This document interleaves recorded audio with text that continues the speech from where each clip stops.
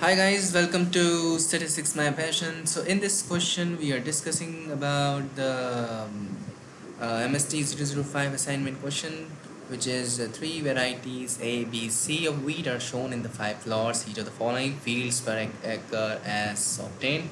So we have given a plots 1 to 5 and A, B, C are the three varieties of uh, field and uh, set up a table of analysis of variance and find out whether there is significant difference between the field of these varieties. So we will set up here a test of analysis of variance and find out there is a significant between them or not.